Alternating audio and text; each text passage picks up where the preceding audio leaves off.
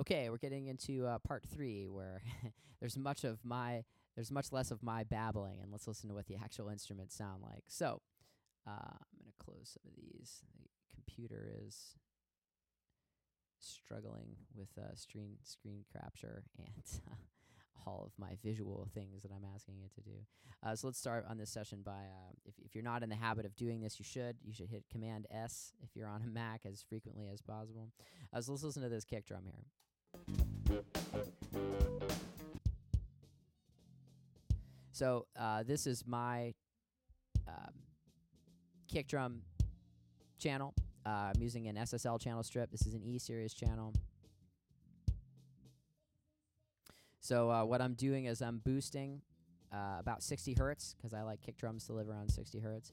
I'm giving a pretty gratuitous boost here at 8, uh, at 8K for some top end. Um, I'm also pointing a little uh, a little 4.7 or 4.17 um, at a pretty broad um, pretty broad Q, and I'm also scooping out a lot of 2K, which uh, for this I like. Let's play around and see what this sounds like.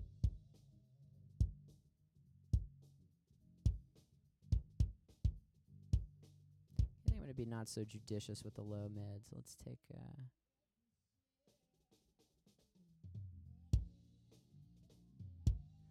okay, I like that. I like our high end. Let's crank that a little bit more. I could use a little bit more click.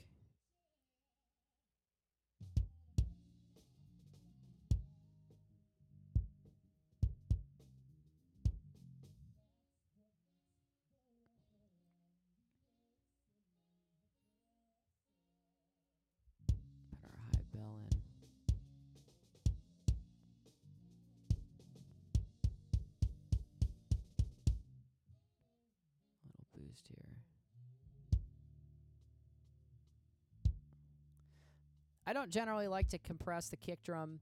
Um, I think it. I think it just kind of sucks the life out of it in a lot of uh, situations. So I, I generally tend to leave that out. Um, what I am going to do though is I'm going to engage my high pass filter on the channel just to take some subsonic uh, muddiness out.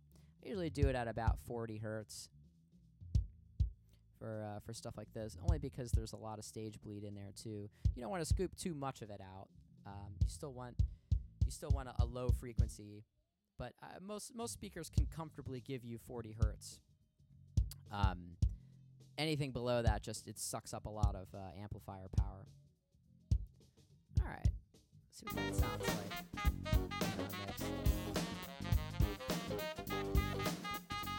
Let's listen to our, our uh, sample. So we've got a nice tight tight gate on that. It's got a little bit of ambience to it, which I like. Um, so let's listen to the two together.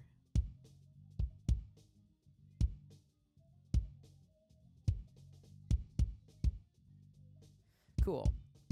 Um, so Nuendo is super cool because it has a uh, full channel strip built into the software, so you don't have to use a plugin if you don't want. So on the the sample kick, let's pull up our let's pull up our channel. So I've got a gate going on that, and I've got a high pass filter. So the first thing that I like to do, we've got a little preamp knob here too, so that's going to drive. Uh, you should try to get your your trigger and uh, the actual drum to try to be around the same height. Now, the first thing that you want to do is you want to flip the phase. Or excuse me, that is an incorrect term. we want to invert the polarity. Whichever version of the inverted polarity, uh, that's that's what you should use. Now, uh, it should be said that I time aligned all these tracks to the snare drum. Um, so they all the tracks are are hitting our our record bus at the same time now. Um, so inverting the polarity may have an effect and it may not. But just as as a rule of thumb, you should if there are ever two things that are uh, there are two instances that are the same source. Like if you have a snare drum uh, with top and bottom, or if you have a kick drum, like in a studio, you'll have a kick in, a kick out, and a, and a sub kick. Um, or some people like to mic the uh, kick drum from the from the batter side where the beater hits. You should always invert the polarity uh, to to make sure if that's an improvement or not. So let's listen. This is with the polarity inverted. we're listening to which has the most low end.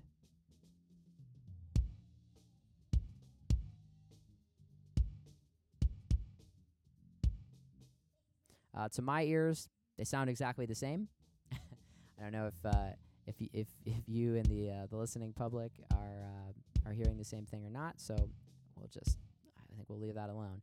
Um, I do want to en- engage a uh, noise gate. Actually, I lied. Let's not gate this because it, it already is technically gated because it's a sample. And I like the ambience that's on there. So I'm going to engage my high pass filter. I'm going to do this one at, let's say, 30. Just because it, since we're using a trigger, it doesn't have any stage bleed in it. So we can we can just do that. Um, there's two ways to use the EQ in uh, Nuendo. You can either use um, the screen here and just drag your frequencies around, or you can use knobs if you're used to using a console.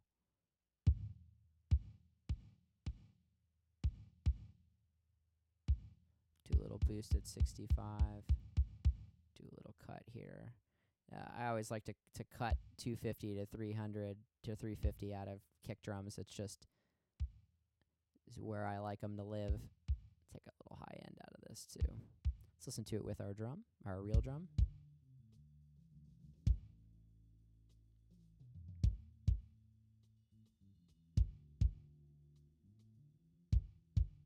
Let's engage a gate on our real drum and see see what that does.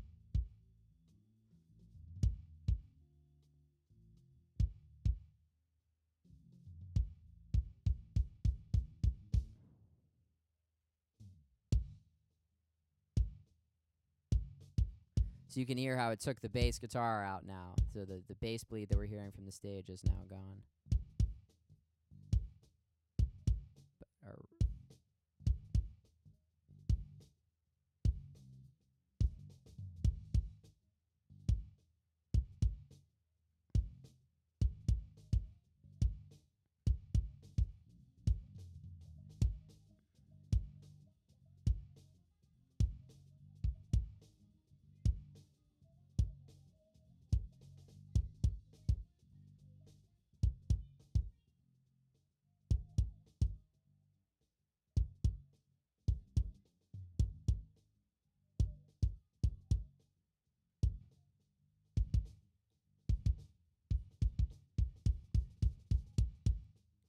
Now, something cool you can do with the uh, with the kick drum, which I think I'm going to do in this instance because it's live, is uh, let's call up a reverb.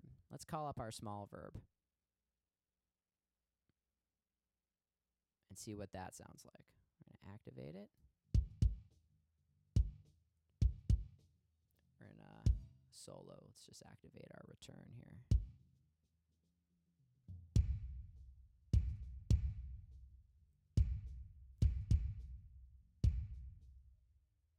So let's take this down a little bit.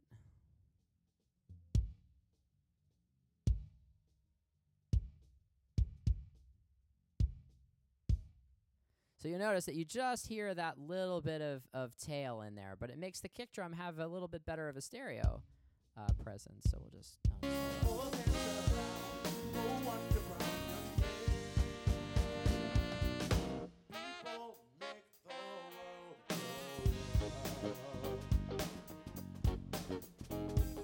I like that. That's a nice fat sounding kick. So if you'll notice that we also are not hitting our, our trigger and our um, our actual drum at the same velocity. They're both not hitting zero. But you'll also notice that they're hitting the our real drum is hitting nice and hot. We're going we're going above uh, zero, but we're not clipping. Um, so let's bring up our snare drum now. Up our snare drum and then the three.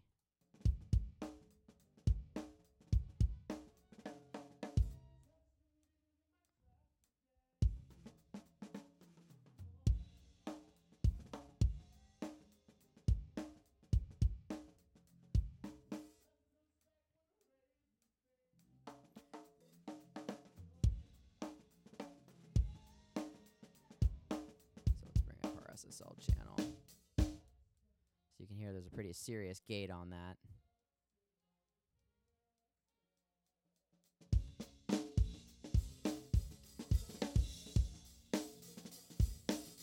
The SM57 is good for a lot of things, but it does not naturally have a lot of high end there. You have to really bring it out.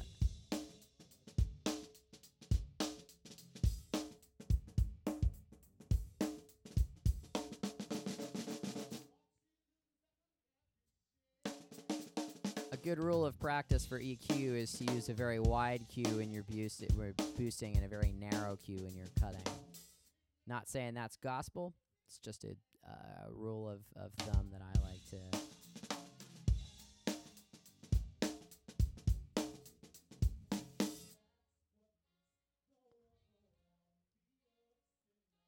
Got a high pass filter on here at about 100. Can use a little compression on, but let's use a high ratio so it's not super apparent. So let's see, what are we at? About seven and a half to one.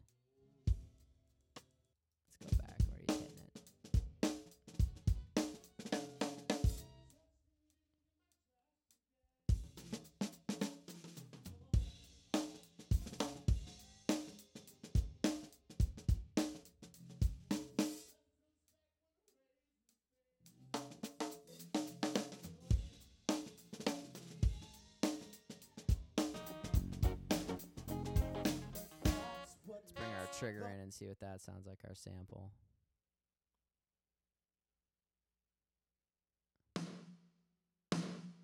Ladies and gentlemen, 1986 is back. Um, this is uh, this is a sample that I like to use a lot. Um,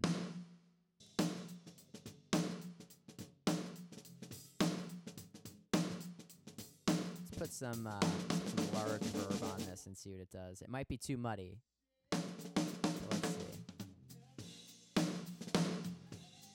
Sometimes you can use a large verb with a gate, and it's very cool.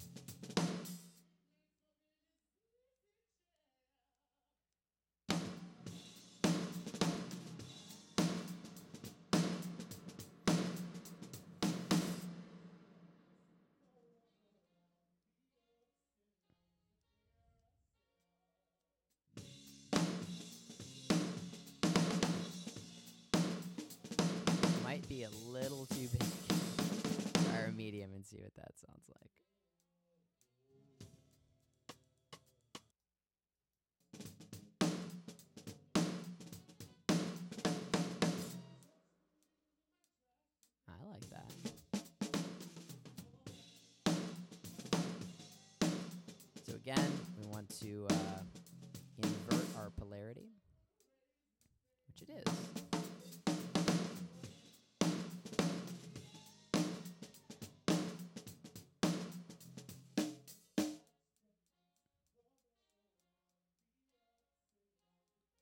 just activated our noise gate here. Um,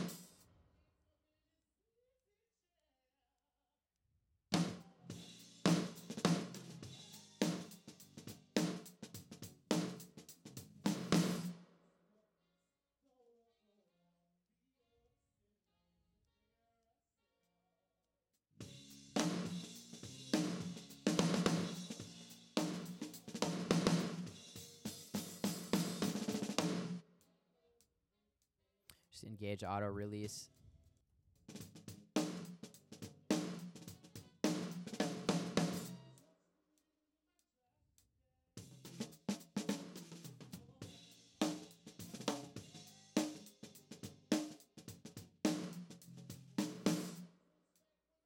Okay, wants to live around there.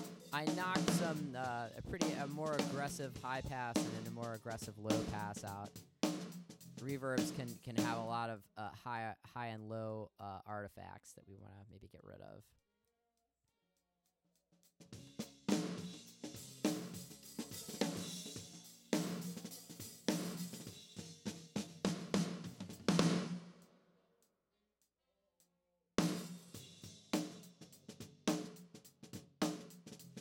So we're noticing here that most of this of our snare sound is still coming from our actual snare drum.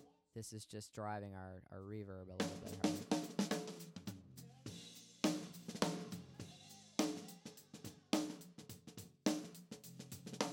So I have a noise gate on here. Let's leave that on. Uh, we may want to take that off in the future, but I don't know. Let's listen. So we also have a snare bottom. So let's see what that sounds like.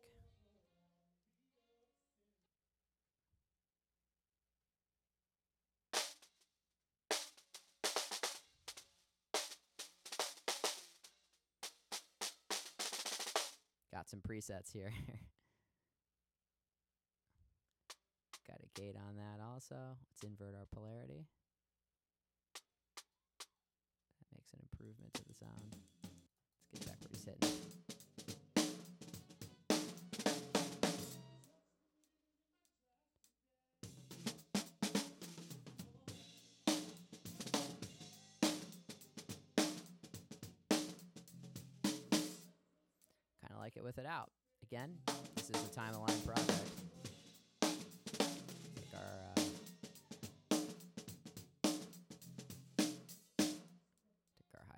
Filter up. Take this down a little bit. Blend to taste.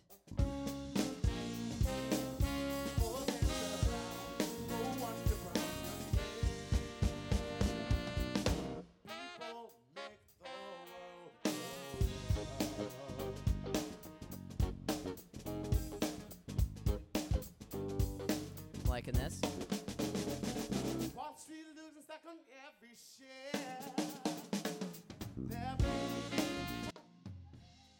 Listen to our toms. Um, this uh, this you should loop. Uh, I like to loop my uh, tom section just to um, get a couple of good hits and EQ them in. Uh, now, if you'll notice, I'm I'm pretty judicious with the EQ um, in in terms of in terms of boosting.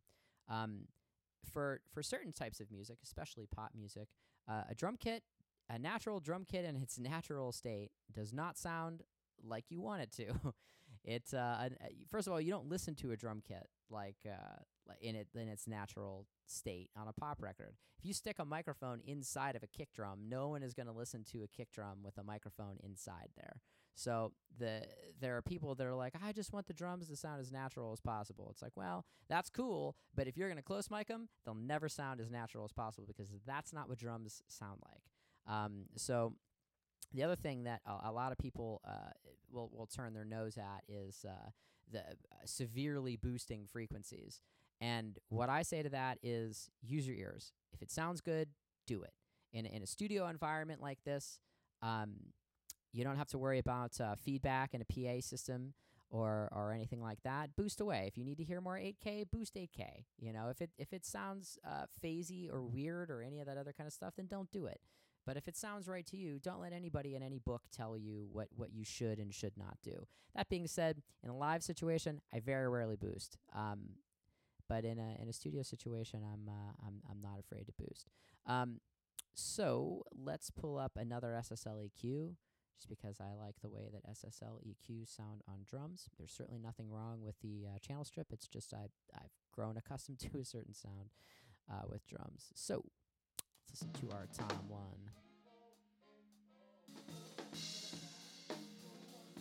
Tighten up my loop here a little bit.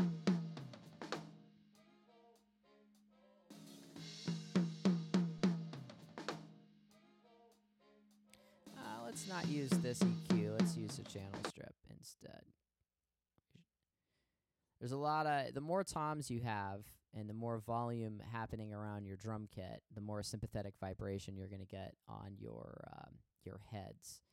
So let's use a gate to fix that certain issue.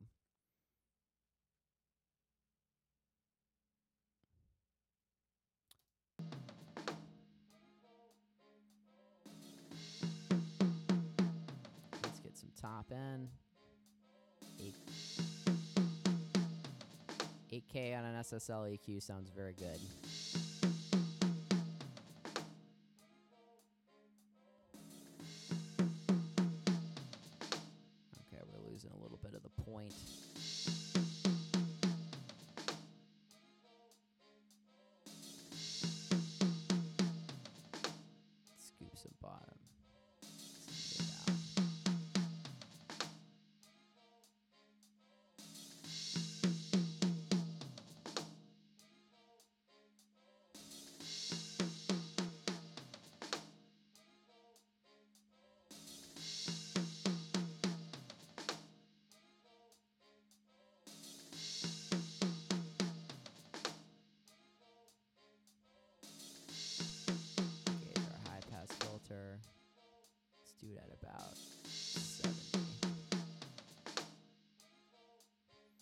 Like toms kind of squishy. I like to use lower ratios on toms with a slow release time. Let's engage our gate.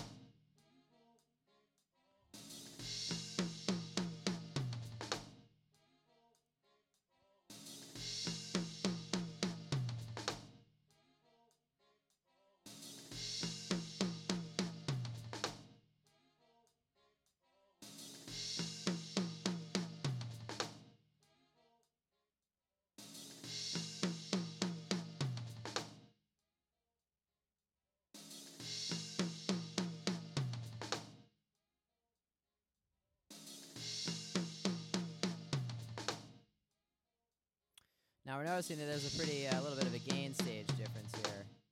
So let's take our tom one down, match our tom two. Take our tom two up a little bit.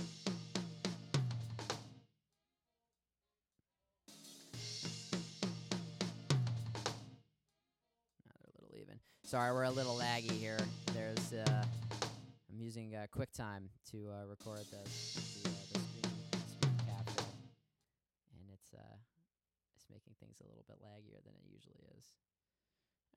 let's see. Let's find a good floor tom hit.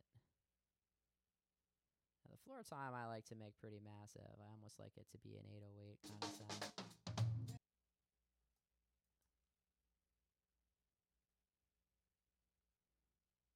Let's see. I like floor toms that are I like floor toms that are another kick drum. That's usually the way I like to do it.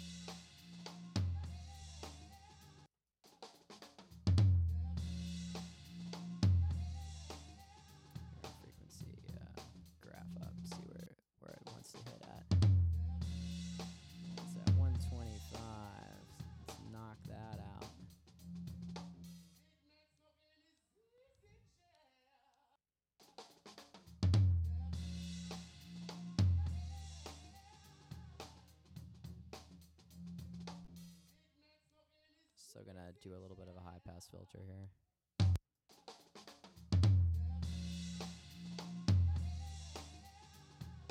This one you're gonna want to compress just a little bit.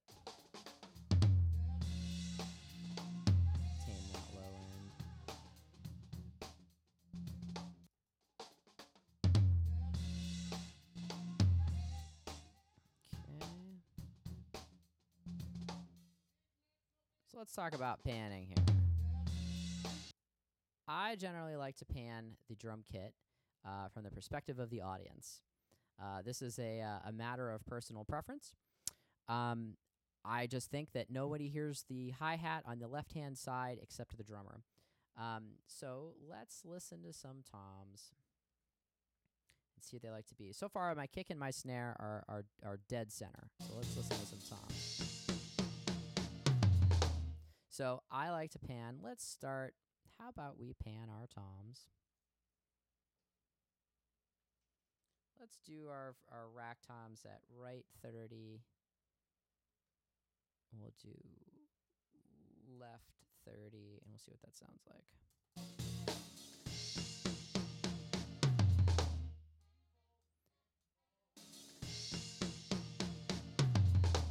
And we'll put our mid tom to the left slightly. Let's do it.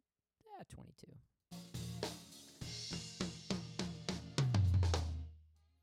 I like that.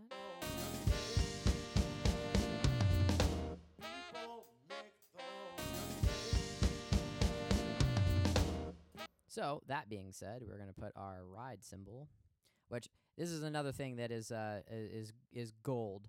Um, some most people will put overhead left or overhead right. Um, I hate that.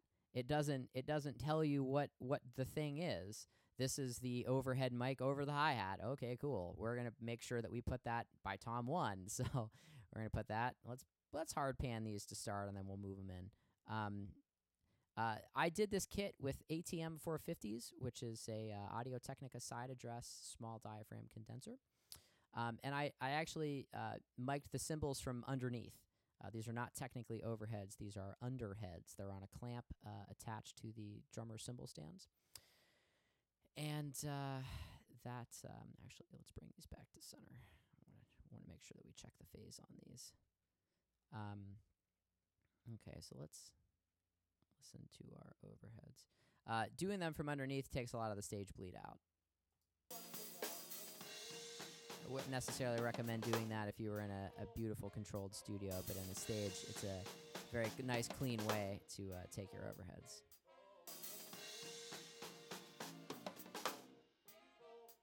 Uh, let's bring our drum kit back in. You may find that.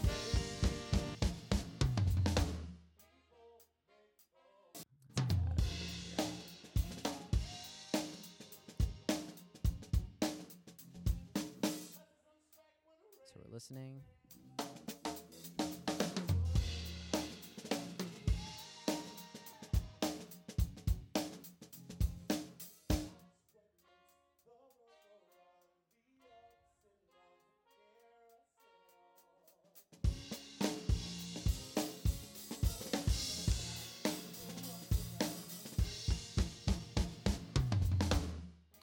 Yeah, the the polarity here really isn't as much of an issue because, like I said, I time aligned the uh, the tracks. Let's take our high pass filter out.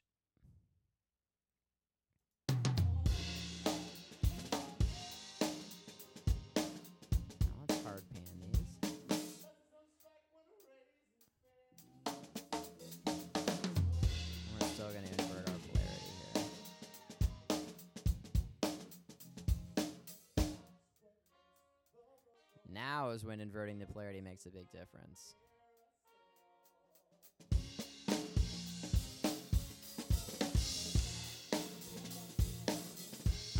So let's keep that inverted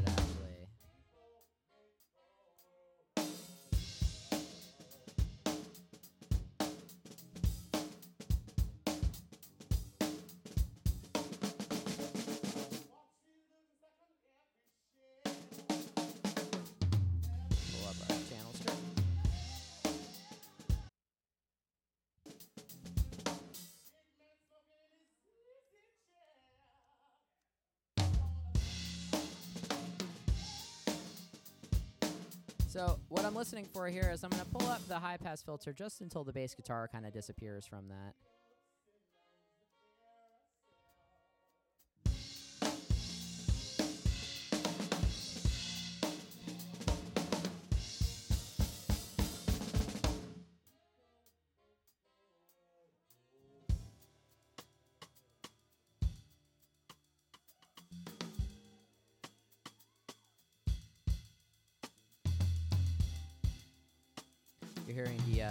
Gates from the tom mics.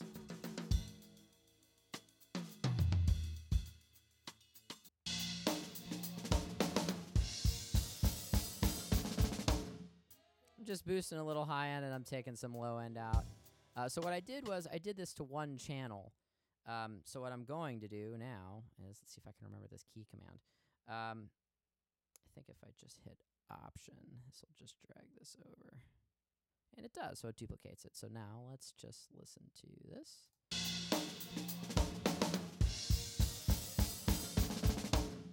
Let's see how everybody's behaving on both sides.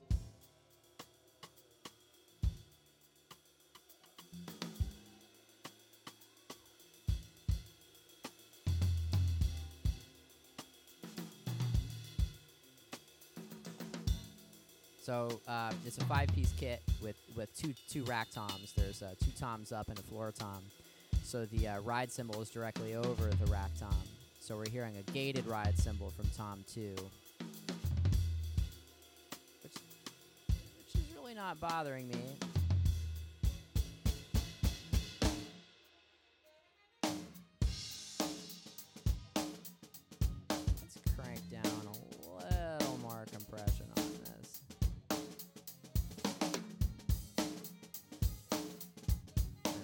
Brought our hi hat out. Close these guys. Now we can take our rack toms down. Wouldn't mind having a little bit of verb on our. Uh, mind having a little bit of verb on our overheads just to make it a little bit more natural. But let's use a small verb. Let's, let's put this into our small reverb.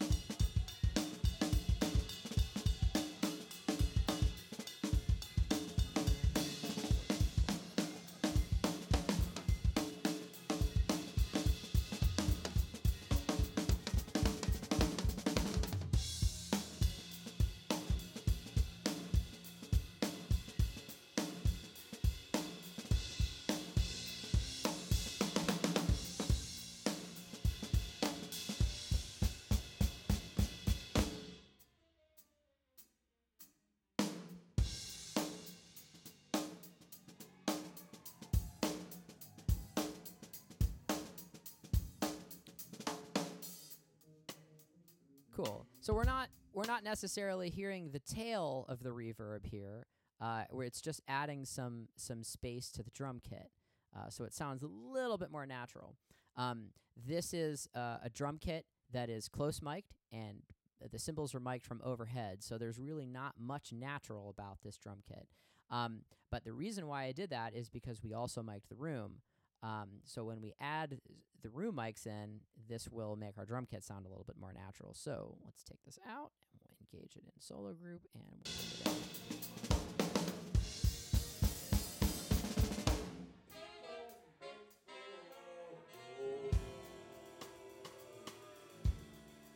Sounds like a real drum kit again.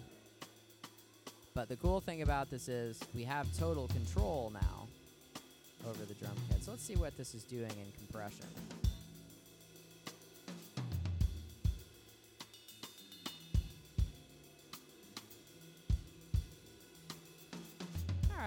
Being shy. We're hitting them, but uh, they're not they're not terrible.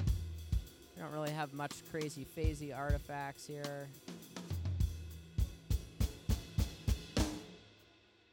Cool.